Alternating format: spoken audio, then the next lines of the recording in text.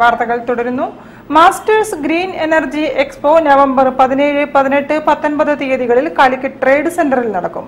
സൗരോർജ മേഖലയിലെ പുതിയ സാങ്കേതിക വിദ്യകളും ഉൽപ്പന്നങ്ങളും പരിചയപ്പെടുത്തുന്ന കൂട്ടായ്മയായ മാസ്റ്റേഴ്സ് ആണ് മേള ഒരുക്കുന്നത്. പതിനാലായിരം രൂപ മുതൽ തൊണ്ണൂറ്റിനാലായിരം രൂപ വരെയുള്ള ലോഡ് സബ്സിഡി കൊടുക്കുന്നുണ്ട്. അങ്ങനെ സബ്സിഡി കൊടുക്കുന്നതിന് വേണ്ടിയിട്ട് ഇന്ത്യയിലാകമാനം എല്ലാ സംസ്ഥാനങ്ങളിലും ഡിസ്കോംസുമായിട്ട് ഡിസ്കോംസ് എന്ന് പറഞ്ഞാൽ നമ്മുടെ കേരളത്തിൽ ഡിസ്കോം എന്ന കെ സി ബി ആണ്. അവരുമായി ചേർന്നിട്ട് ഏകദേശം അഞ്ഞൂറ്റമ്പതോളം വെണ്ടേഴ്സിനെ സെലക്ട് ചെയ്തിട്ടുണ്ട്. അങ്ങനെ സെലക്ട് ചെയ്തിരിക്കുന്ന അഞ്ഞൂറ്റി ശേഷം വെണ്ടേഴ്സന്മാരുടെ ഒരു ഗ്രൂപ്പ് ഞങ്ങളുടെ ഒരു അസോസിയേഷൻ ഫോം ചെയ്തു. അതാണ് ministry of abroad solar traders green energy expo November പതിനേഴ് മുതൽ പത്തൊൻപത് വരെ കോഴിക്കോട്ട് നടക്കും. കേന്ദ്ര റിന്യൂവബിൾ എനർജി മന്ത്രാലയത്തിന്റെ അനുമതിയോടെ പ്രവർത്തിക്കുന്ന സോളാർ വിപണന രംഗത്തെ സ്ഥാപനങ്ങളുടെ കൂട്ടായ്മയായ മാസ്റ്റേഴ്സിന്റെ നേതൃത്വത്തിലാണ് കോഴിക്കോട്ട് ഗ്രീൻ എനർജി എക്സ്പോ സംഘടിപ്പിക്കുന്നത്.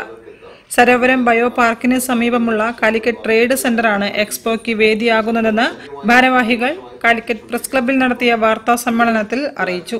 എക്സ്പോയിലേക്ക് പൊതുജനങ്ങൾക്ക് പ്രവേശനം സൗജന്യമാണ്. നവംബർ പതിനേഴിന് വെള്ളിയാഴ്ച രാവിലെ Kozhikode corporation deputy mayor Muzaffar Ahmed green energy എക്സ്പോയുടെ ഉദ്ഘാടനം നിർവഹിക്കും.